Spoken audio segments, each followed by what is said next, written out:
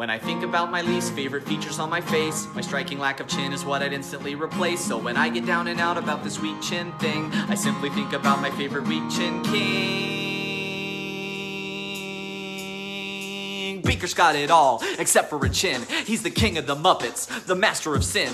He's got no chin, but he's got all the science. His rise to power was predicted by the Mayans. No differentiation from his mouth to his neck. That's why the Muppet ladies go to him to get sectors. That's a proportional compass. Step to Beaker, there's gonna be a mother meeping ruckus. Beaker's got stacks and flames for hair, and lost his chin when he lost his ability to care. Care, care, care, care.